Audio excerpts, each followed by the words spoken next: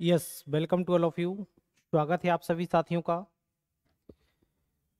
क्या आप लोग मुझे सुन पा रहे हैं?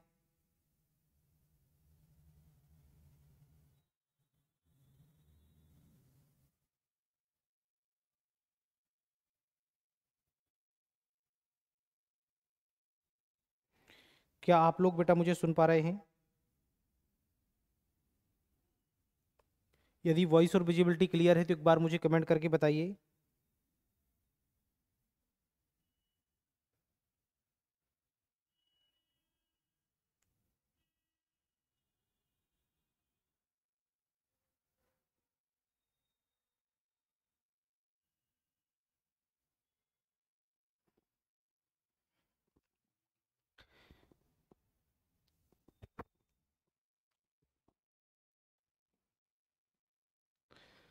चलिए, आज की क्लास को हम शुभारंभ करते हैं।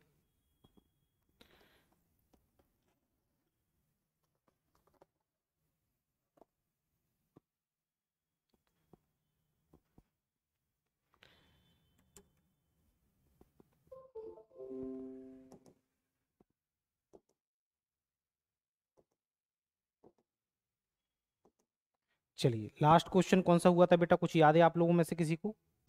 मुझे याद है कि क्वेश्चन नंबर फिफ्टी करना था, जहाँ तक मेरी मेमोरी ठीक है। क्वेश्चन नंबर फिफ्टी को बेटा हम सॉल्व कर रहे थे, है ना? चलिए, आ जाइए, सभी साथी लाइव आइए। क्वेश्चन नंबर, देखो ए की आय बी की आय का अस्सी परसेंट है। इस क्वेश्चन को बड़े ध्यान समझना बेटा। उसने आपसे कह के रखा है ए की जो आय है बी की आय का अस्सी परसेंट है। ए का व्यय बी के व्यय का साठ परसेंट है। यदि ए की आय बी की आय के नब्बे परसेंट के बराबर है।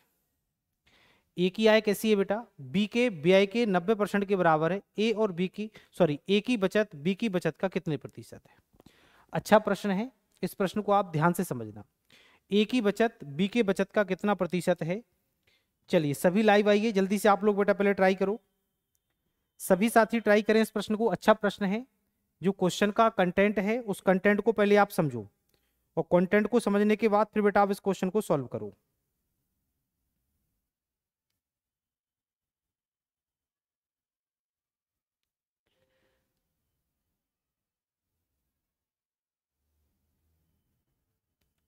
सभी साथी ट्राई करो।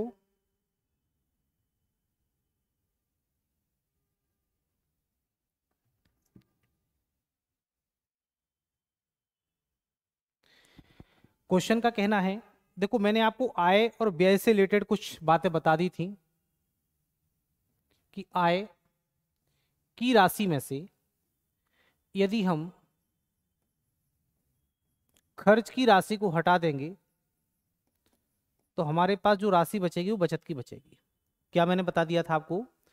आय की राशि में से यदि हम खर्च की राशि हटा देते हैं तो हमारे पास जो राशि बचती है, वो राशि काय की होती है बेटा? बचत की राशि होती है। अब उसने कह के रखा है, ए की आय बी की आय का 80 परसेंट है। ए की जो आय है, वो कैसी है? बी की आय का 80 परसेंट, ठीक है? यहाँ हम दो व्यक्ति मान लेते हैं, ए और बी। यदि बी की आय बेटा, चलो बाद में देखते हैं हम इसको, अभी छोड़ो इस पॉइंट को। ए का व्यय बी के व्यय का 60 परसेंट है, ए का जो व्यय है, वो बी के व्यय का 60 परसेंट है। साथ ही उसने कहा है कि ए की आय बी के व्यय का 90 परसेंट है। मतलब ए की आय जो भी होगी, वो कैसी होगी? बी के व्यय का 90 प्रतिशत होगी। चलो मैं मान लेता हूँ कि बी का व्यय कितना? दो सौ रुपया है। बी का जो खर्चा है, वो बी का खर्चा कितना है बेटा? दो सौ रुपया है। यदि बी का खर्चा दो सौ रुपया है तो दो सौ रुपया का नाइन्टी परसेंट। नाइन्टी परसेंट मतलब कितना हो जाएगा बटे का सौ? मतलब कितना हो जाएगा? एक सौ अस्सी। जो बी का खर्चा है, उसका 90 परसेंट मतलब 180 ये आय किसकी बन गई बेटा? एक ही बन गई। क्वेश्चन में क्लियर लिखा हुआ है कि जो ए की आय है, वो बी की व्यय के 90 परसेंट के बराबर है। ए की जो आय है ए की जो आय है, वो बी के व्यय का तो बी का व्यय कितना है? मैंने मान लिया बेटा सौ रुपया है। बी का व्यय दो सौ रुपया है, दो सौ रुपया का नाइन्टी परसेंट कितना हो गया बेटा? एक सौ अस्सी।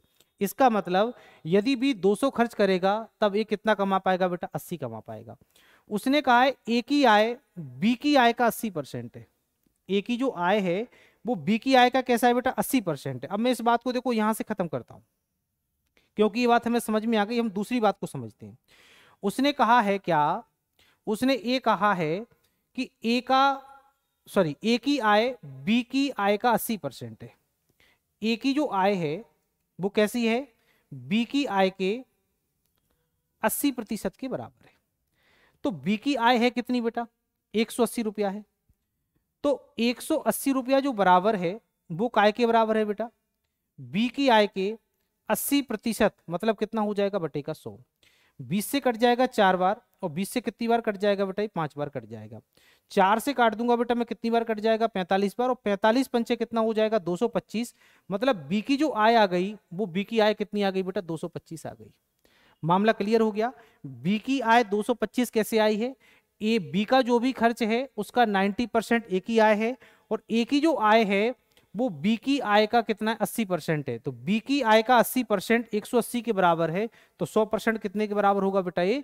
225 के बराबर होगा। अब उसने कह दिया ए का व्यय बी के व्यय का 60 परसेंट है। बी का व्यय कितना है? 200 यदि बी का व्यय तुम्हारे पास 200 है तो 200 का 60 परसेंट। तो 200 का 60 परसेंट निकालो जरा। 200 का 60 प्रतिशत मतलब कितना हो जाएगा बेटा? 120 यानी ये खर्चा कितना कर रहा है? 120 यदि 180 कमाएगा 120 खर्च करेगा तो बचत कितनी हो गई बेटा 60 की? 180 कमाएगा 120 खर्च करेगा तो बचत कितने की हो गई बेटा 60 की? बी की बात करें हम, बी कितना? 225 कमा रहा है और 200 खर्च कर रहा है तो कितना हो गया 25 अब उसने कहा है ए की बचत, बी की बचत से कितना प्रतिशत अधिक है? तो 25 से 60 कितना अधिक है? पहली बात तो 35 अधिक है। कितने पर है बेटा? 25 पर। अंश बटा हर को प्रतिशत में कन्वर्ट करेंगे मल्टीप्लाई बाई सौ, पच्चीस चौको अस्सी, यानी 35 चौके बेटा, कितना हो जाएगा? 140 प्रतिशत। जिन साथियों ने answer option number B click किया है, वो सभी साथी एकदम सही है। जिन साथियों ने ऑप्शन नंबर बी क्लिक किया है, वो सभी साथी सौ फ़ीसदी सही है। क्लियर हुआ बेटा? क्लियर हुआ एकदम? कोई डाउट किसी का? कोई किसी का डाउट है क्या?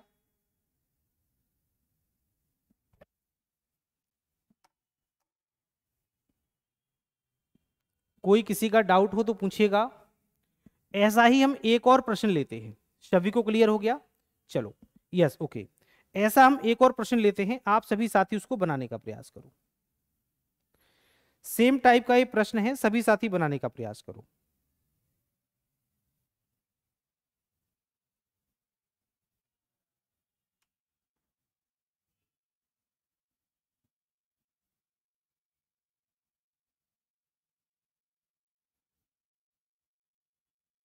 सभी साथी बनाइए बच्चे।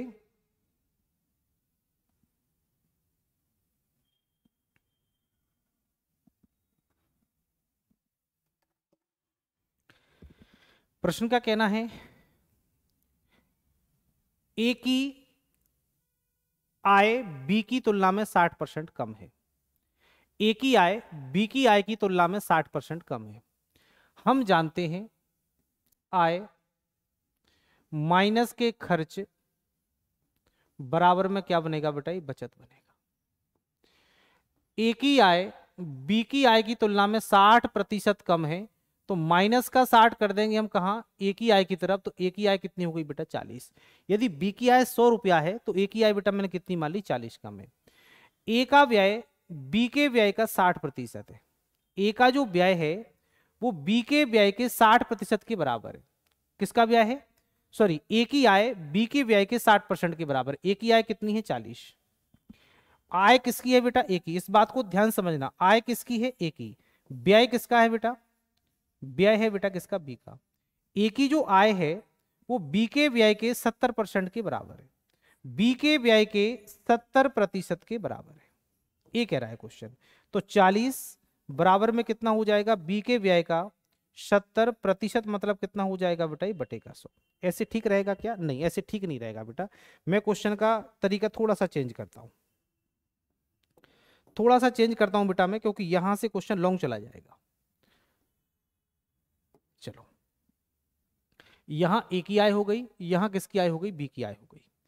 प्रश्न कह रहा है ए की जो आय है, वो कैसी है बेटा? व्यय की किसके व्यय के बेटा? बी के व्यय के। ए की आय बी के व्यय के सत्तर परसेंट के बराबर है तो बी के व्यय के सत्तर प्रतिशत के बराबर। मैं मान लेता हूँ बी का व्यय कितना? सौ रुपया है तो सौ का सत्तर प्रतिशत कितना हो जाएगा? यदि बी का व्यय बेटा सौ रुपया है तो इसका सत्तर प्रतिशत ए की आय होगी। ये मामला क्लियर हो गया? उसमें लिखा हुआ है, ए की आय बी के व्यय के सत्तर प्रतिशत के बराबर है तो ए की आय बी के व्यय के सत्तर परसेंट के बराबर सेम पिछले प्रश्न के जैसा मैंने बना दिया। अब प्रश्न ने एक लाइन और बोली है, एक लाइन बोली है कि ए की आय बी की तुलना में साठ प्रतिशत कम है। ए की आय बी की तुलना में कितना है बेटा? साठ प्रतिशत कम है। तो निश्चित तौर पर बेटा आप यहाँ से बना पाएँगे इस प्रश्न को तो। इसको मैं खत्म करता हूँ। यहाँ से कलम मैंने चेंज किया। अब लिखा हुआ है क्या बेटा? ए की आय बी की तुलना में साठ प्रतिशत कम है। इसका मतलब ये है कि ए की जो आय है, वो बी की आय की तुलना में 60 प्रतिशत कम है। तो 60 प्रतिशत कम होने का मतलब बेटा कितना? 100 माइनस के 60 100 माइनस के 60 मतलब कितने प्रतिशत है बेटा? ये 40 प्रतिशत के बराबर है। ऐसा कहना है प्रथम का। ठीक है? तो बेटा यहाँ से कितना हो जाएगा? ज़ीरो से मैंने ज़ीरो काट दिया और एक ही आय कितनी आ गई बेटा? सत्तर आ गई। तो सत्तर ऊपर कितना हो जाएगा बेटा? दस और बटे में कितना आ जाएगा? चार। ये किसकी आय के बराबर आ गया बेटा? बी की आय के बराबर आ गया। लेकिन ये बी की आय का एक परसेंट आया है। यदि यहाँ से मैं देखा जाए तो दो दूना कितना हो जाए? सॉरी, दो से कट जाएगा बेटा पाँच बार। कितनी बार कटेगा? दो से पाँच बार कटेगा और दो से कट जाएगा पैंतीस बार। पैंतीस पंचे बेटा यहाँ कितना हो जाएगा? एक सौ पचहत्तर हो जाएगा। इसका मतलब बी की आय कितनी आ गई बेटा? एक सौ पचहत्तर आ गई। कुछ और दे के रखा है क्या? ए का व्यय बी के व्यय के साठ परसेंट के बराबर है। बी के व्यय का साठ प्रतिशत मतलब ये कितना खर्च करेगा बेटा? साठ खर्च करेगा। यदि सत्तर कमा रहा है, साठ खर्च कर रहा है तो बचत कितनी आ गई बेटा? दस आ गई। ए और बी की बचत का अनुपात बताना है। कहीं कुछ गड़बड़ तो नहीं कर दिया मैंने? यहाँ से कितना हो जाएगा? एक सौ पचहत्तर माइनस के सौ कितना हो जाएगा बेटा? ये पचहत्तर हो जाएगा। तो यहाँ से कितना हो जाएगा? पाँच दूना दस और पाँच से कट जाएगा बेटा पंद्रह बार यानी कितना हो जाएगा? दो अनुपात पंद्रह ऑप्शन नंबर डी में लिखा हुआ है।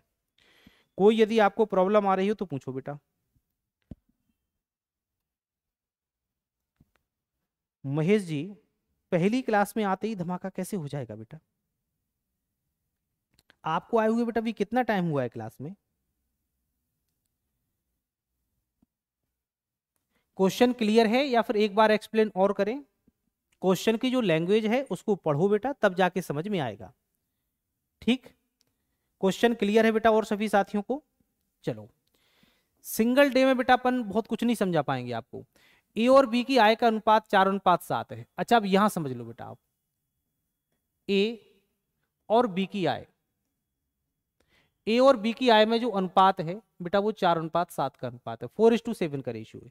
ए और बी की जो इनकम का रेशियो है, वो कितना है बेटा? फोर इज़ टू सेवन है। उसने कह दिया ए की आय पचास प्रतिशत की वृद्धि होती है और बी की आय में पच्चीस प्रतिशत की कमी होती है तो उनकी नई आय का अनुपात आठ अनुपात सात हो जाता है। उनकी आय के संबंध में क्या कहा जा सकता है? अच्छा मुझे ये बताओ, क्या उनकी कोई आय तुम्हें रुपया में देके रखी है? यदि रुपया में तुम्हें डेटा दिया ही नहीं है तो आप आंसर रुपया में कैसे दे सकते हो? नहीं दे सकते। इसका तो आंसर क्या जाएगा बेटा? डी जाएगा। Data is not adequate. इसके आंकड़े अपर्याप्त हैं। डेटा इज़ इनसफिशियंट आंकड़े कैसे हैं? अपर्याप्त हैं। उसका रीजन है, हमें कोई भी डाटा रुपया में नहीं दिया। आप यहाँ से लेकर क्वेश्चन को यहाँ तक पढ़ लो। इसमें कोई भी डेटा रुपया में नहीं दिया। यदि कोई भी डेटा रुपया में नहीं दिया है तो बेटा फिर तो आंसर निकालना बहुत मुश्किल है। हम इसका आंसर नहीं दे पाएँगे। हम कह देंगे डेटा इनसफिशियंट है। अब क्लियर हो गया बेटा मामला। क्वेश्चन पहले की अपेक्षा क्लियर हुआ बेटा।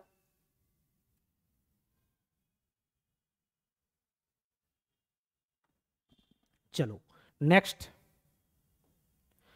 अगला क्वेश्चन देखिए। सोनू ने अपनी मासिक आय का 12 प्रतिशत एक धर्मार्थ टेस्ट को देने का फैसला किया था। मुझे नहीं पता उसकी आय कितनी है।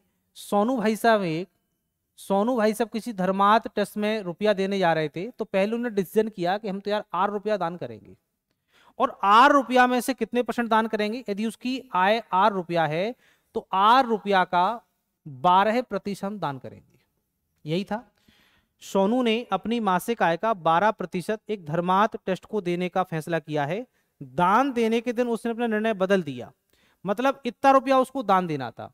लेकिन जिस दिन दान देने गया है उस दिन उसने कितने रुपए का दान कर दिया है? इक्कीस रुपए का। जो डोनेशन देने गया है तो जब डोनेशन का डे आया तो उसने two one six zero rupees का डोनेशन कर दिया, जो कि उसके द्वारा पूर्व में दान देने के फैसले की राशि का 125 परसेंट था। अधिक या कम नहीं 125 परसेंट था। मतलब आर रुपया की राशि के 12 परसेंट का 125 प्रतिशत था। आठ रुपया की राशि के 12 प्रतिशत का 125 प्रतिशत था, जो कि बराबर का है कि बेटा 2160 के बराबर है। क्या महेश बाबू, आपको ये बात समझ में आ गई? जो मैंने पहला लाइन लिखा हुआ है, क्या बेटा ये पहला लाइन आपको क्लियर हुआ? क्या ये पहला लाइन बेटा क्लियर हुआ महेश?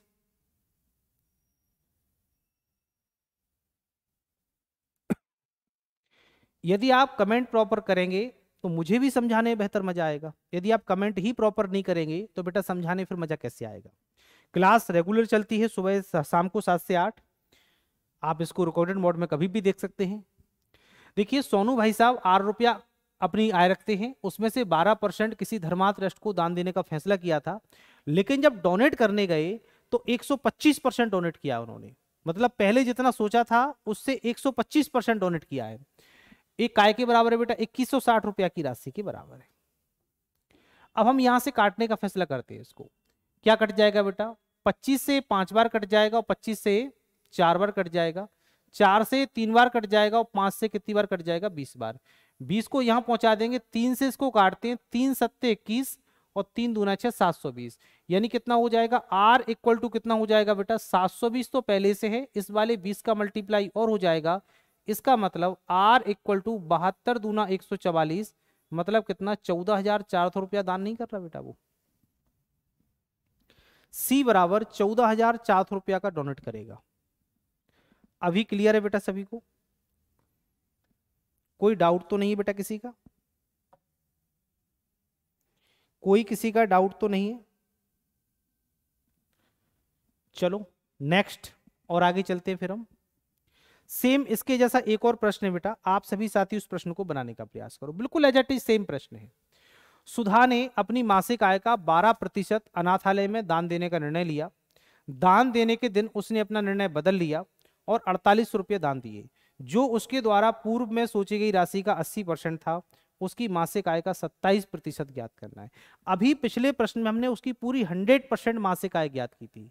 अब लेकिन हमें मासिक आय का केवल और केवल 27 परसेंट बताना है कि उसकी मासिक आय का 27 परसेंट क्या है। उसकी मासिक आय का 12 परसेंट जब वो डोनेट करने गया है तो मासिक आय आठ रुपया का 12 प्रतिशत डोनेट करने का डिसीज़न लेता है कि मैं अपनी मासिक आय का 12 प्रतिशत ही डोनेट करूँगा। लेकिन दान देने के निर्णय लिया, दान देने के दिन उसने अपने निर्णय को बदल दिया, अड़तालीस रुपया डोनेट किए। कितने किए? Four eight double zero donate किया। चार हज़ार आठ सौ रुपया डोनेट किया है, जो कि इसकी पूर्व में सोची गई राशि का अस्सी परसेंट था। अभी कह रहा था एक सौ पच्चीस, अब कह रहा है पूर्व में जो भी राशि सोची थी, वो तो उसके अस्सी प्रतिशत के बराबर है। अब कह रहा है उसकी मासिक आय का बेटा सत्ताईस परसेंट आपको बताना है। चलो हम बताने का प्रयास करते हैं। सबसे पहले यहाँ से काटते हैं। बीस चौको अस्सी और बीस पंचे सौ। और क्या कर सकता है बेटा? ये चार से कट जाएगा बेटा कितनी बार? पच्चीस बार। और बारह से कट जाएगा बेटा ये कितनी बार? चार सौ बार। पच्चीस पंचे एक सौ पच्चीस को हम यहाँ पहुँचा रहे हैं। तो कितना हो जाएगा? आर इक्वल टू जो आएगा, वो हो जाएगा एक सौ पच्चीस। और गुणा में कितना हो जाएगा बेटा? ये चार सौ। डबल ज़ीरो और यहाँ एक ज़ीरो और आएगा और ये कितना हो जाएगा बेटा? ये हो जाएगा तुम्हारे पास पाँच सौ। ठीक है? 125 गुणा चार कितना हो जाएगा 500 ये बेटा आर का 100 परसेंट है, लेकिन आपको निकालना कितना है? आर का 27 परसेंट निकालना है तो 27 प्रतिशत यहाँ कर दो 27 प्रतिशत मतलब बटेगा सो और 27 प्रतिशत मतलब बटेगा सो। ये डबल ज़ीरो आपस में कैंसिल 27 पंचे कितना हो जाएगा? 135 और डबल ज़ीरो और आ जाएगा मतलब कितना हो जाएगा? तेरह हज़ार पाँच सौ। ऑप्शन नंबर डी आपका आंसर हो गया। महेश जी, अब तो आपको प्रॉपर समझ में आ रहा है। इक्यावन को हम एक बार रिपीट कर देंगे, बेटा डोंट वरी आप परेशान नहीं हुई बिल्कुल परेशान नहीं हुई इक्यावन नंबर के प्रश्नों को हम ज़रूर रिपीट कर देंगे, बेटा, आपके लिए।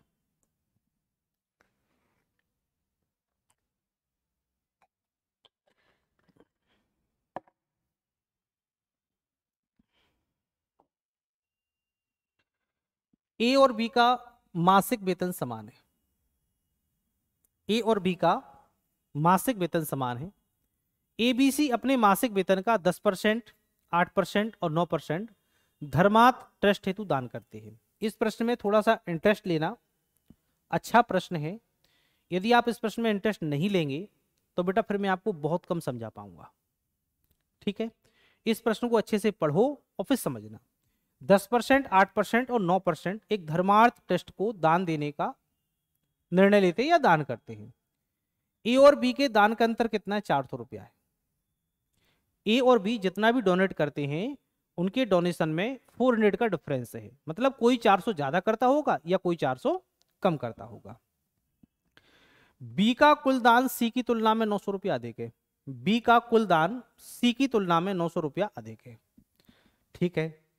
सी का मासिक वेतन क्या है? इनके मासिक वेतन समान है। आपसे केवल पूछा उसने सी का मासिक वेतन। आप तो केवल सी का मासिक वेतन बता दो। चलो मैं ट्राई करता हूँ आपको। तीन व्यक्ति हैं ए बी और सी ए कितना दान करता है बेटा? दस प्रतिशत दान करता है। बी कितना दान करता है बेटा? आठ प्रतिशत दान करता है। सी कितना दान करता है बेटा? नौ प्रतिशत दान करता है। ए दस प्रतिशत दान करता है। बी आठ प्रतिशत दान करता है। और सी कितना दान करता है बेटा? नौ प्रतिशत दान करता है। ए और बी के दान के बीच का जो अंतर है, वो कितना है? दो प्रतिशत है। ए और बी के दान का जो अंतर है, वो कितना है बेटा? दो प्रतिशत है। यदि ए और बी के दान का अंतर दो प्रतिशत है, ये दो प्रतिशत बेटा काय के बराबर है? चार सौ के बराबर है।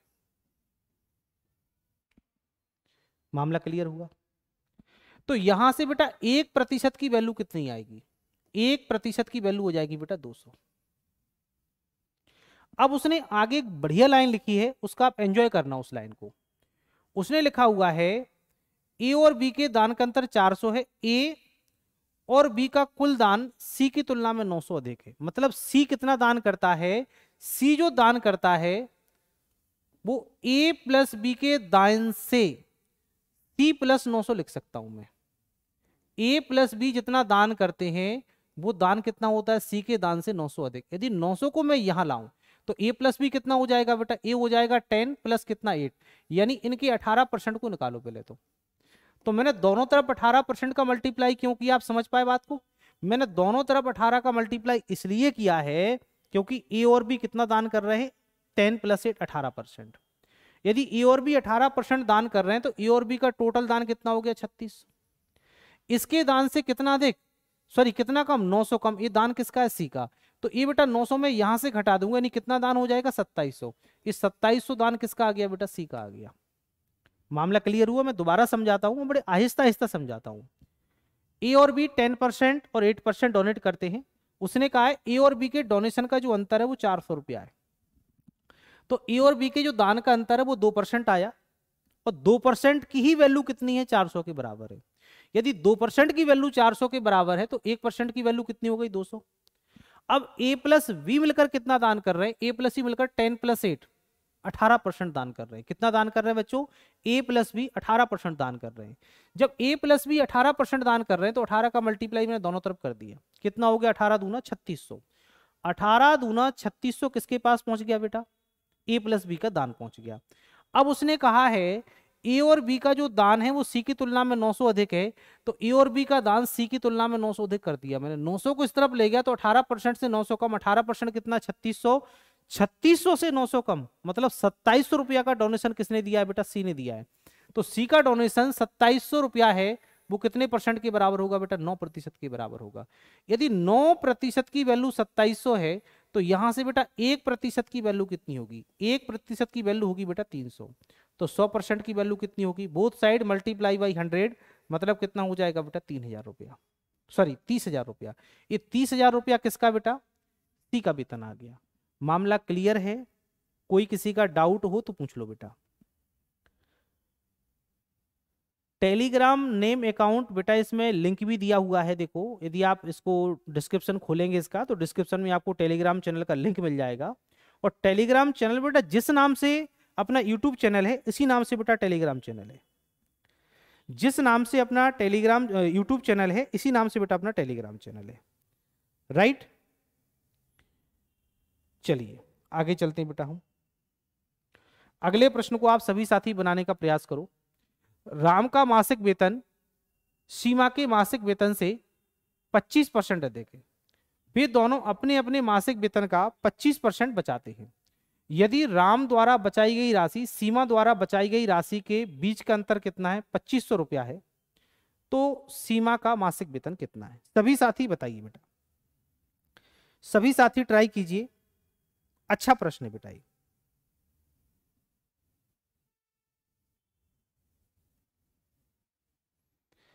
उसने लिखा हुआ है, राम का मासिक वेतन, सीमा के मासिक वेतन से 25 परसेंट अधिक है। वे दोनों अपने अपने मासिक वेतन का 25 परसेंट बचाते हैं। ठीक है बचाने दो। यदि राम द्वारा बचाई गई राशि, सीमा द्वारा बचाई गई राशि के बीच का अंतर कितना है? पच्चीस सौ रुपया है। तो सीमा का मासिक वेतन बताना रुपया में कितना है। सभी साथी ट्राई करो।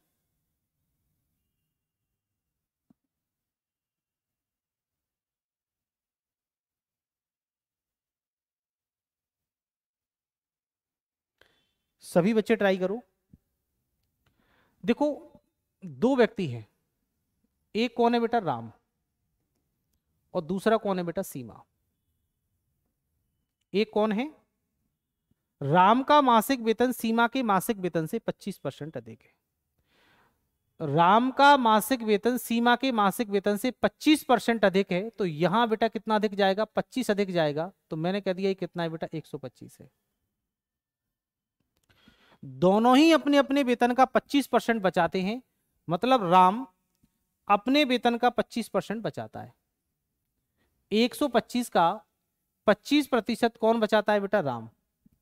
125 का 25 प्रतिशत यदि राम बचाता है तो सौ रुपया का 25 प्रतिशत कौन बचाती होगी बेटा? सीमा। एक क्या आ गई बेटा? दोनों की बचत आ गई। यदि मैं इसमें से ऐसे भी कर दूँ कि 125 माइनस के 100 125 माइनस के 100 मल्टीप्लाई विथ 25 अपॉन में कितना 100 यानी 125 माइनस के 100 का 25 प्रतिशत ये बेटा बराबर हो जाए। काय के बराबर हो जाए बेटा ये क्योंकि दोनों की बचत की राशि के बीच में 2500 का अंतर है तो बेटा मैंने कितने के बराबर कर दिया? 2500 के बराबर कर दिया। ये 25 से कट जाएगा चार बार, चार का मल्टीप्लाई यहाँ कर रहा हूँ तो कितना हो जाएगा बेटा ये 2500 और मल्टीप्लाई बाई फोर ये बराबर काय के हो जाएगा बेटा? इन दोनों के डिफरेंस के। डिफरेंस कितने का आ रहा है बेटा? पच्चीस से एक अनुपात की वैल्यू कितनी आ जाएगी बेटा? चार सौ। जो एक परसेंट है, उसकी या फिर एक अनुपात है बेटा? अनुपात माना हुआ तो एक अनुपात लिखो। एक अनुपात की वैल्यू कितनी आ गई बेटा? चार सौ। सीमा का वेतन मैंने कितना माना हुआ है? सौ के अनुपात माना हुआ है। सौ का मल्टीप्लाई कर दो। राम का पूछे तो हम 125 का मल्टीप्लाई करेंगे। इसका मतलब चालीस हज़ार जो वेतन आ गया, वो किसका आ गया बेटा? सीमा का आ गया। आप सभी साथी सहमत हैं? यदि सभी को समझ में आता हो तो यस कर दो और नहीं आता हो तो बेटा मना कर दो। सभी को क्लियर है बेटा? कोई डाउट तो नहीं बचा किसी का? एकदम क्लियर है बेटा? नेक्स्ट क्वेश्चन देखो। ए की आय बी की आय से 50 परसेंट अधिक है।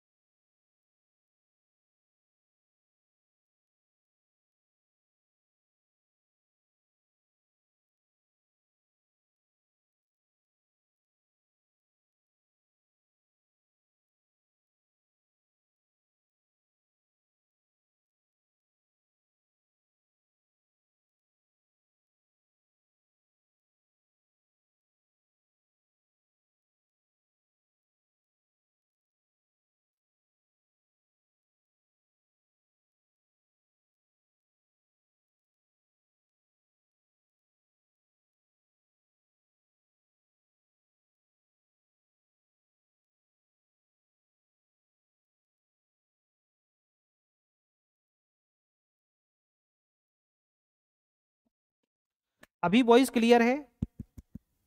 अभी वॉइस क्लियर है? मैं बेटा वॉइस को ऑन करना भूल गया था। इस क्वेश्चन को मैं दोबारा समझाता हूँ। डोंट वरी इस क्वेश्चन को बेटा मैं दोबारा समझाता हूँ। मैसेज आपका अभी देखा हुआ है। ठीक है? चलो। उसने आपसे ऐसा कह के रखा है। उसने कह के रखा है बी की आय से 50 परसेंट अधिक। तो बी की आय से 50 प्रतिशत अधिक। यदि बी की आय 100 है तो 50 प्रतिशत अधिक मतलब कितनी हो जाएगी बेटा? 150 150 प्लस 100 कितनी हो जाएगी बेटा ये तुम्हारे पास? ये हो जाएगी 250 ए प्लस बी की ज्वाइंट इनकम अब उसने कह के रखा है, ए और बी की आय को कितना कितना बढ़ा दिया जाता है? 40 परसेंट से बढ़ा दिया जाता है। 150 को 40 प्रतिशत बढ़ाया है मतलब 140 प्रतिशत हो गया, इसका मतलब कितना हो जाएगा बेटा? ये 210 बी की आय को 90 परसेंट बढ़ाने का मतलब है 190 परसेंट बढ़ा दिया। इसका मतलब कितना हो गया बेटा? ये 190 हो गया। अब यदि यहाँ पर आप ए प्लस बी का ज्वाइंट इनकम देखेंगे तो कितना हो गया? 400 उसने आपसे कह के रखा है, उनकी संयुक्त आय संयुक्त आय मतलब together combined income joint income ये लिखा हुआ है। ए और बी दोनों की कुल आय, दोनों की कुल आय पहले 250 थी, अब कुल आय कितनी हो गई बेटा? 400 हो गई। 250 से बढ़कर 400 हुई इसका मतलब वृद्धि कितनी की बेटा 150 की। 150 की वृद्धि कितने पर है बेटा? 250 पर है। अंश बटा हर को प्रतिशत में करना करना मल्टीप्लाई करो 100 25 चौको 100 15 चौको बेटा कितना हो जाएगा? 60 प्रतिशत की वृद्धि दोनों की ज्वाइंट इनकम में हो गई। तो दोनों की ज्वाइंट इनकम में जो इंक्रीजमेंट हुआ है, वो बेटा 60 परसेंट का हुआ है। क्या आप सभी साथी समझ गए? मामला यदि क्लियर होके चल रहा हो तो कमेंट करते चलना कि यस सर क्लियर है। कोई बेटा डाउट तो नहीं है किसी के जीवन में? चलो। और आगे चलते हैं बेटा। एक वस्तु के निर्माण में चार अवयव है, तीन, चार, पाँच, छह के अनुपात प्रयुक्त होते हैं। एक वस्तु है, इसमें चार अवयव प्रयुक्त होते हैं बेटा। पहला, दूसरा, तीसरा और चौथा। तीन, चार, पाँच के अनुपात में तीन, चार, पाँच और छह के अनुपात में प्रयुक्त होते हैं। एक वस्तु के निर्माण में चार अवयव लगते हैं, तीन, चार, पाँच और छह के अनुपात में। हमने प्रत्येक में क्या कर दिया बेटा? सौ का मल्टीप्लाई कर दिया। ये कितना हो गया बेटा? तीन सौ। यहाँ कितना हो गया बेटा? चार सौ। यहाँ कितना हो गया बेटा? पाँच सौ। और यहाँ कितना हो गया बेटा? छह सौ। तीन सौ, चार सौ, पाँच सौ और छह सौ। अब आप यहाँ से समझो पहले तो इन चारों अवयवों की कीमत क्रमशः ten percent, twenty percent, thirty percent and forty percent की वृद्धि हो जाती है। दस परसेंट की वृद्धि होती है बेटा काय में? पहले में। यदि इसमें बेटा मैंने दस परसेंट की वृद्धि लगा दी तो 300 पर 10 प्रतिशत की वृद्धि मतलब 110 प्रतिशत हो गया। इसका मतलब जो वस्तु पहले 300 की आ रही थी, अब वो कितने की आएगी? 330 की आएगी। चार अवयव हैं पहला, दूसरा, तीसरा, चौथा। वो कह रहा है, पहला अवयव 10 प्रतिशत बढ़ गया। अच्छा दूसरे अवयव में 20 परसेंट की कमी है। यदि ये दूसरा अवयव है, इस दूसरे अवयव में मैंने बेटा 20 परसेंट की कमी लगा दी। यदि इस पर 20 परसेंट की कमी लगाई है तो जो वस्तु पहले 400 की आ रही थी, अब वो 80 परसेंट पर ही आ जाएगी। इसका मतलब कितनी की जाएगी बेटा? ये 320 की आ जाएगी। मामला क्लियर? तीसरी वस्तु के साथ क्या हुआ है? तीसरी वस्तु की कीमत में 30 प्रतिशत की कमी आई है। इसका मतलब जो वस्तु पहले 500 की आ रही थी, अब वो 70 परसेंट पर आ जाएगी क्योंकि 30 परसेंट कम हो गया। 30 परसेंट कम हो गया मतलब वो वस्तु अब बेटा कितने की जाएगी? 350 की आ जाएगी। राइट एक और अंतिम वस्तु है, उसमें की कीमत में बेटा 40 परसेंट की वृद्धि है। जो वस्तु पहले 600 की आ रही थी अब वो 40 परसेंट अधिक मतलब 140 परसेंट पर आएगी। चौदह छंगे चौरासी मतलब कितने की आएगी बेटा? 840 की आएगी। मामला एकदम क्लियर हो गया बेटा। जो वस्तु पहले 300, 400, 700, 500, 1200, 600 कितने की आ रही थी? 1800 की आ रही थी। जो वस्तु पहले अठारह सौ रुपया की आ रही थी अब बेटा वही वस्तु कितने की आएगी बेटा? हाँ होगा बेटा। अब वही वस्तु कितने की आएगी बेटा? अब वही वस्तु आएगी 300, 300, 600 और 300, 900, 900 और हज़ार हो गया अठारह सौ चालीस रुपए की आएगी। जो वस्तु पहले 1800 की आ रही थी अब वस्तु कितने की आ रही बेटा? 1840 की आ रही है। इसका मतलब कितने की वृद्धि हो गई? इसकी कीमत में बेटा 40 की वृद्धि है। अच्छा 40 की वृद्धि कितने पर है बेटा? 1800 पर है। अंश बटा हर को प्रतिशत में कन्वर्ट करेंगे। एक बिंदी, दो बिंदी कैंसिल दो से कट जाएगा बेटा कितनी बार? बीस बार और दो से कट जाएगा नौ बार। यदि मैं यहाँ कह दूँ बेटा ये बीस बटा नौ प्रतिशत हो गया तो बीस बटे नौ प्रतिशत का मतलब कितना हो जाएगा? दो सही, दो बटे नौ प्रतिशत हो गया। Two is to two by nine percent option number A हो गया। दो सही, दो बटा नौ प्रतिशत हो गया। मामला समझ आ गया बेटा? सभी साथियों को समझ आ गया बेटा?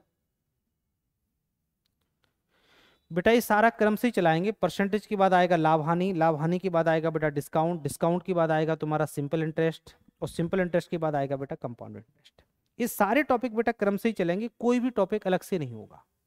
ठीक है? ऐसा नहीं कि अपन बीच में इसके क्रम तोड़ दें, जो मैंने आपको क्रम से सिलेबस दिया है, उसी क्रम से तुम्हारा सिलेबस चलेगा बेटा पूरा। नेक्स्ट एक गाँव में 700 पुरुष 500 स्त्रियाँ और 800 बच्चे हैं। पुरुष की संख्या कितनी है बेटा उस गाँव में? नंबर ऑफ़ मेल कितने है बेटा? 700 है। स्त्री कितनी है बेटा? यदि अपन स्त्रियों की बात करें तो कितनी है बेटा ये? 500 है। और बच्चे कितने हैं बेटा ये? 800 है। 700 पुरुष 500 स्त्रियाँ और 800 बच्चे हैं।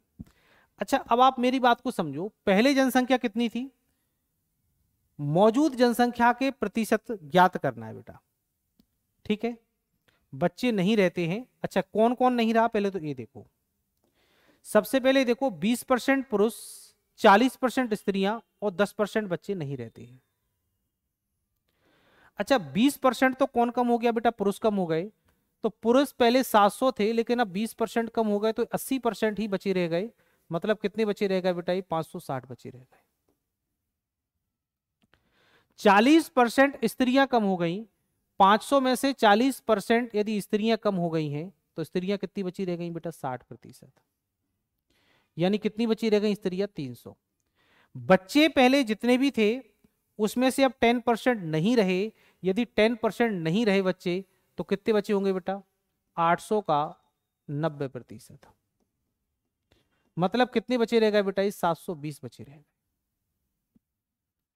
पहले 700 पुरुष थे 80 परसेंट रह गए तो 560 पुरुष बचे हैं।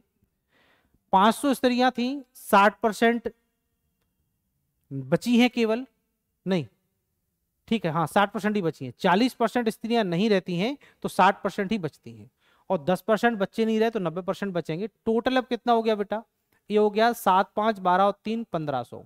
यानी ये बचा रह गया बेटा तुम्हारे पास कितना? पंद्रह सौ अस्सी। जबकि पहले कितना था बेटा टोटल है ये पहले थे टोटल सात, पाँच, बारह और आठ, बीस। मतलब पहले कितने थे? दो हज़ार। अब दो हज़ार में से पंद्रह सौ अस्सी बचा हुआ है।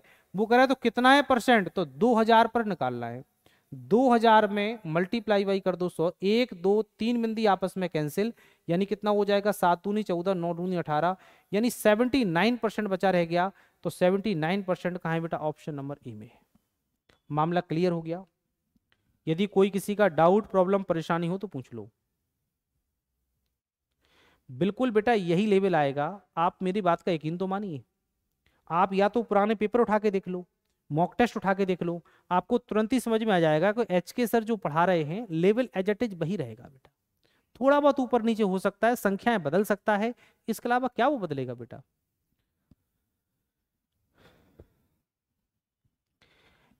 एक बॉक्स में एक हज़ार नीली, पाँच सौ काली, पाँच सौ लाल गेंदे हैं। बॉक्स में नीली गेंदों की संख्या कितनी? हज़ार है। जो नीली गेंदे हैं उनकी संख्या हज़ार है। काली गेंदे हैं। उनकी संख्या कितनी है बेटा?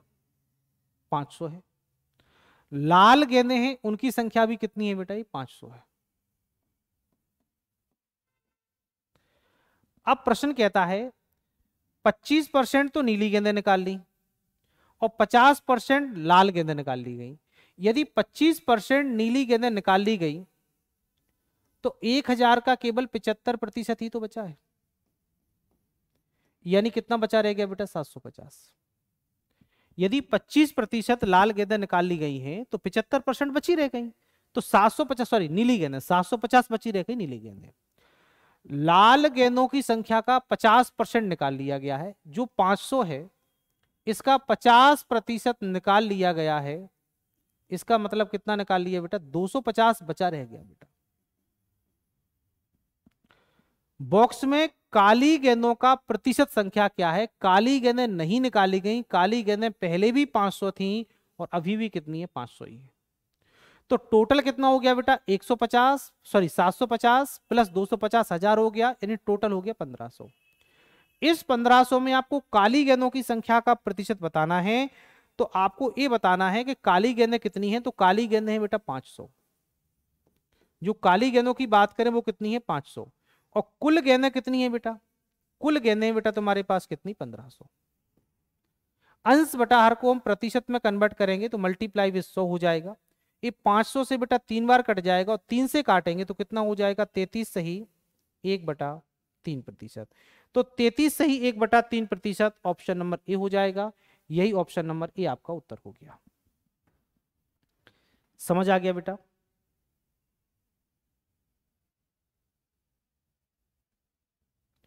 बेटा, आप केवल मेरे नोट्स लगा लीजिए, बाद बाकी आपको एएलपी के लिए बुक लेना है। तो एक रेलवे में घटना चक्र का मैथ आता है।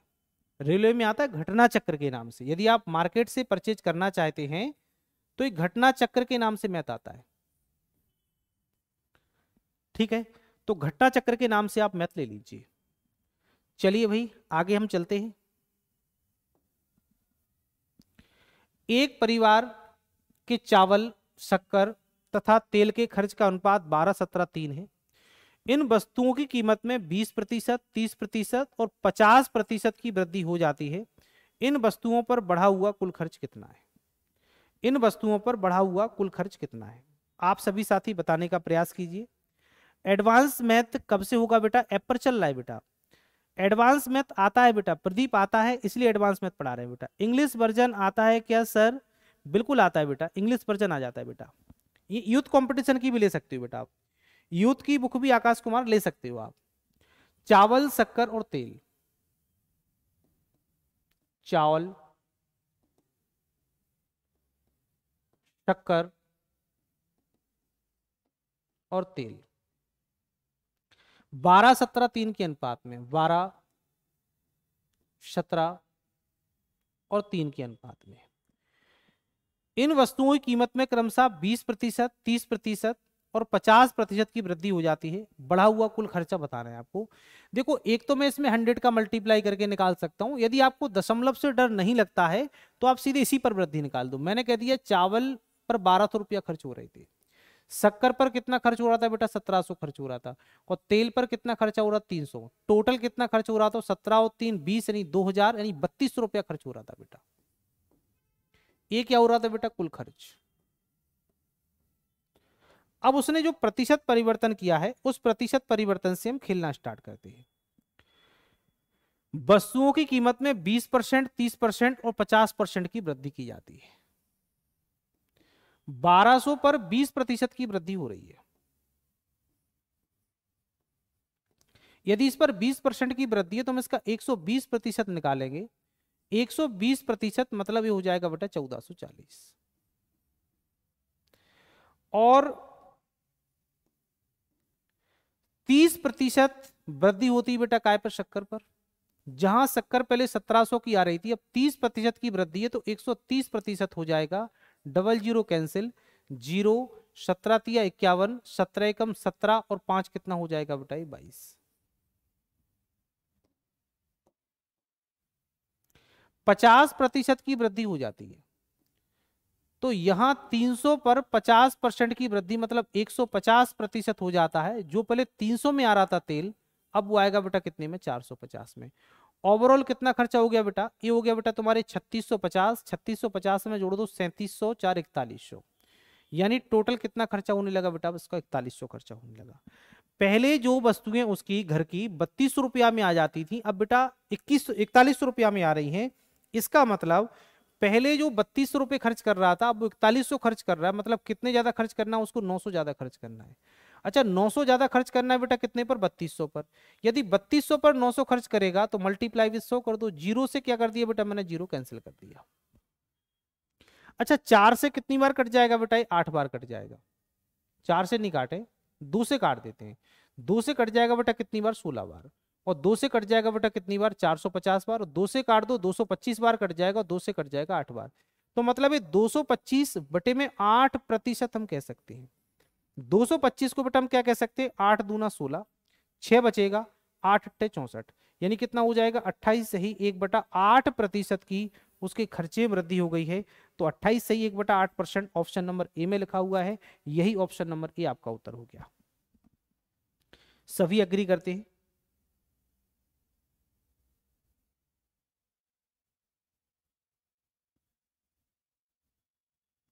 ठीक है। कोई किसी का डाउट हो तो बताते चलो बेटा। प्रॉपर क्लियर होकर चल रहा है बेटा। एकदम क्लियर होकर चल रहा है बेटा सभी साथियों को। चलो नेक्स्ट दस हज़ार रुपया को दो तीन पाँच के अनुपात में निवेश करता है। ब्याज क्रमशः दस परसेंट, पच्चीस परसेंट और बीस परसेंट है। वर्ष के अंत में तीनों भागों का योग कितना है? बेटा, उसने तीन पार्टों में इन्वेस्ट किया है। फ़र्स्ट सेकंड एंड थर्ड ये जो तीन पार्ट हैं टू थ्री एंड फाइव के रेशियो में पाँच और तीन, आठ और दो कितना हो जाएगा? दस। पाँच और तीन, आठ और दो कितना हो जाएगा? दस। ये दस अनुपात की वैल्यू कितनी देके रखी बेटा? दस हज़ार देके रखी। वन रेशियो का वैल्यू कितना जाएगा? हज़ार। हम क्या करेंगे बेटा? इस पूरे में हज़ार का मल्टीप्लाई कर देंगे। तो ये कितना हो जाएगा बेटा? यहाँ दो हज़ार। यहाँ कितना हो जाएगा बेटा? तीन हज़ार। और यहाँ कितना हो जाएगा बेटा? पाँच हज़ार। अब प्रश्न बोल रहा है, पहले पर 110 परसेंट मिलेगा ब्याज। जो मूलधन होगा, वो 10 परसेंट बढ़ जाएगा। मतलब कितना हो जाएगा? 110 प्रतिशत। तो कितना मिलेगा बेटा? यहाँ से बाईस रुपया मिलेगा। प्लस। दूसरा 25 परसेंट बढ़ जाएगा। मतलब एक चौथाई बढ़ जाएगा, हम ऐसे भी कह सकते हैं। या तीन हज़ार पर 125 बटे में कितना हो जाएगा 100 दिस इज़ कैंसिल यानी कितना हो जाएगा बेटा? एक चौथाई मतलब 750 बढ़ेगा तो कितना हो जाएगा? सैंतीस प्लस 20 परसेंट बढ़ जाता है। इसका मतलब कितना हो जाएगा बेटा ये? पाँच हज़ार पर। 20 प्रतिशत की वृद्धि मतलब 120 बटे में कितना हो जाएगा 100 तो बारह पंचे साठ मतलब कितना हो जाएगा बेटा ये? तो अब टोटल उसको कितना मिलेगा? छ और दो, आठ हज़ार दो सौ, आठ हज़ार दो सौ मतलब आठ हज़ार नौ सौ पचास, आठ हज़ार नौ सौ पचास और तीन, कितना हो जाएगा बेटा ग्यारह हज़ार नौ सौ पचास उसको मिलेगा।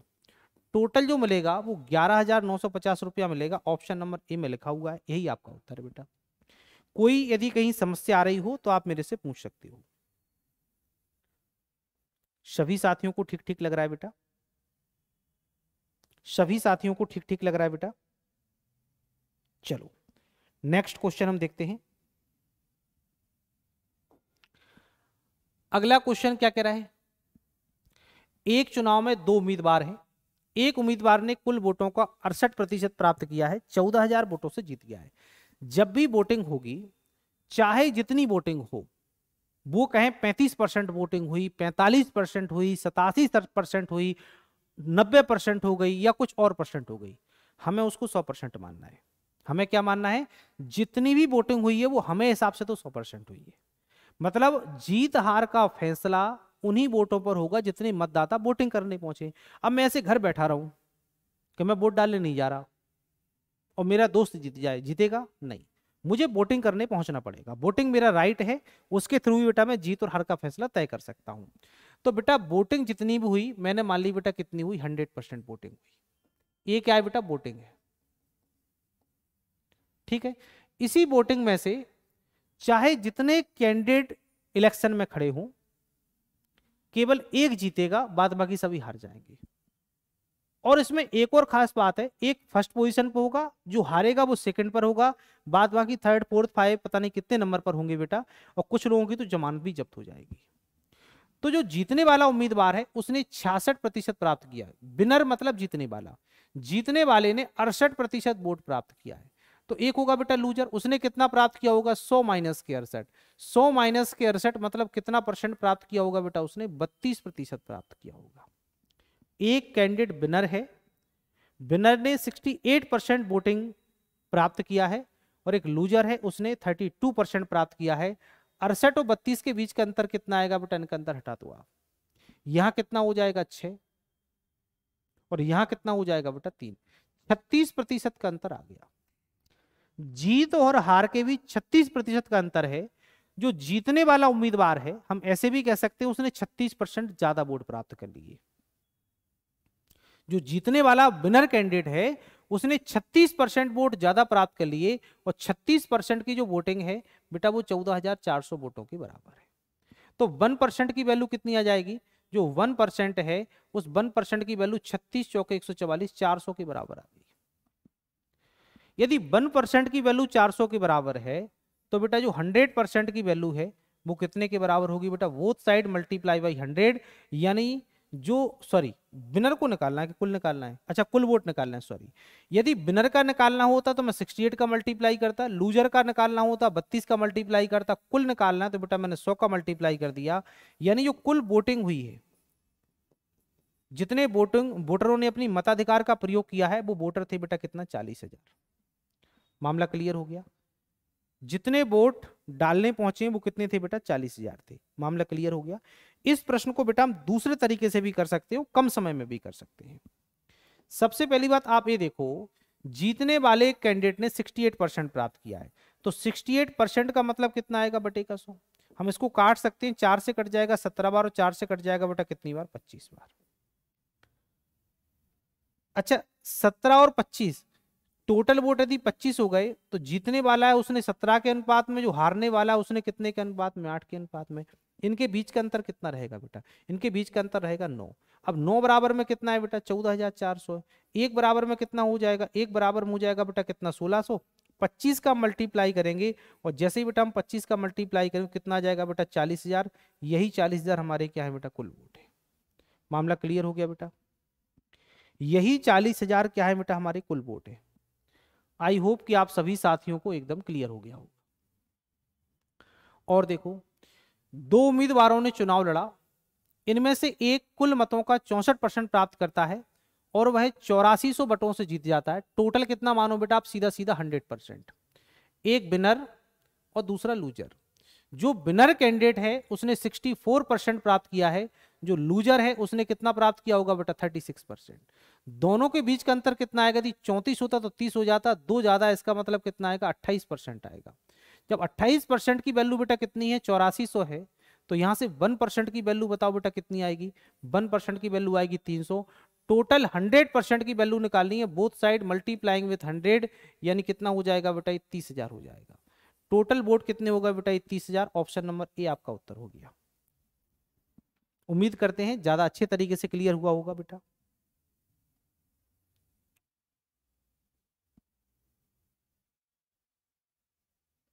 ठीक है? चलिए, अगला क्वेश्चन ये तुम्हारे लिए होमवर्क के रूप में है पैंसठवा क्वेश्चन एक चुनाव में तीन उम्मीदवार हैं, जीतने वाले उम्मीदवार को 55 परसेंट वोट मिले, जो तीसरे नंबर पर रहा है उसको चलो हम कराई देते हैं. टोटल 100 परसेंट वोटिंग होती है. एक रहा होगा फ़र्स्ट पोजीशन पर, ये विनर है, इसको फ़र्स्ट फिफ्टी फाइव परसेंट मिला है. एक होगा बेटा सेकेंड और एक होगा बेटा कौन सा? थर्ड ये थर्ड पोजीशन पर जो रहा है बेटा, उसको कितना मिला है बेटा? फाइव परसेंट रहा है। फ़र्स्ट पोजीशन वाले को फिफ्टी फाइव परसेंट थर्ड वाले को फाइव परसेंट पचपन पाँच साठ हो गया। तो जो सेकेंड पोजीशन पर रहा है वो कितना होगा? विनर और लूजर यही दोनों है। चुनाव का जो पूरा फैसला होगा वो इन दोनों के बीच में होगा। बेटा, जो फैसला होगा वो कितने मतों से हो जाएगा बेटा वो? या तो कह दो बेटा पंद्रह से। पंद्रह से जीता हुआ है पंद्रह परसेंट बराबर में कितना है बेटा तुम्हारे पास? नौ हज़ार। जब पंद्रह परसेंट बराबर नौ हज़ार है तो बेटा यहाँ से वन परसेंट की वैल्यू बोलो। पंद्रह छक्के नब्बे नहीं, कितना हो गया? छह सौ। जब वन परसेंट की वैल्यू इतनी है तो हंड्रेड परसेंट की वैल्यू कितनी हो जाएगी? Both side multiply with hundred यानी कुल कितना हो जाएगा बेटा? साठ यदि कुल वोटर है, जबकि कोई मत अवैध नहीं हुआ है तो बेटा कुल वोट कितने होगा तुम्हारे पास? साठ मामला क्लियर है। उम्मीद करते हैं कि आज की क्लास आप लोगों को अच्छी लगी होगी। बेहतर समझ में आया होगा पिछली क्लास की अपेक्षा। मैं अपने आप में रोज इंप्रूवमेंट करने का प्रयास करता हूँ, आपको और बेहतर आपके हिसाब से देने का प्रयास करता हूँ, आप कितना बेहतर समझ पाएँगे, ठीक है? आज केवल हमारी एक ही क्लास यूट्यूब पर है। सेकेंड जो एडवांस मैथ की क्लास है एडवांस मैथ अपने रेलवे ग्रुप ऐप पर चल रहा है, आप प्ले स्टोर पर जाइए। रेलवे ग्रुप ऐप को डाउनलोड कीजिए और रेलवे ग्रुप ऐप पर अपनी बेटा एडवांस मैथ की क्लास चल रही है, उसमें आज पढ़ाया जाएगा फॉर्मेशन ऑफ़ द ट्रेंगल्स त्रिभुजों का निर्माण कैसे होता है? इस पर टोटल थर्टी सेवन क्वेश्चन हैं। ठीक है? यदि आप आज की क्लास का आनंद लेना चाहते हैं तो रेलवे ग्रुप ऐप को प्ले स्टोर से अभी डाउनलोड करो। केवल दो सौ निन्यानवे रुपए का आपको पेमेंट करना है और उसमें आपको अर्थमेटिक प्लस एडवांस सब कुछ मिल जाएगा विथ पीडीएफ मिलेगा। ठीक है? वहाँ मैं आपसे अच्छे से इंट्रेक्शन कर पाऊँगा। तो आप सभी साथी, उम्मीद है कि प्ले स्टोर पर जाएँगे रेलवे ग्रुप ऐप को डाउनलोड करेंगे और एक छोटा सा पेमेंट करेंगे दो सौ निन्यानवे रुपए का और आप अपने कैरियर को संभाल पाएँगे। जो आपके एग्ज़ाम में आएगा, मैं बिल्कुल हु बहू वैसा ही पढ़ा रहा हूँ आपको। रिकॉर्डेड प्लस लाइव उस पर बहुत अच्छी सुविधा है बेटा ऐप पर, उस ऐप को आप डाउनलोड करो, आप उसके ऐप को कोर्स को देखो उसमें और कोर्स को परचेज करो। और सीखो भी उससे। अपनी एलपी के एग्ज़ाम को क्लियर करो। साथ में और भी बहुत सारे बंडे एग्ज़ाम होते हैं, उनको भी आप वहाँ से क्लियर कर सकते हो। ठीक है साथियों, मुलाकात करते हैं अगली क्लास में। जय श्री श्याम, जय हिंद।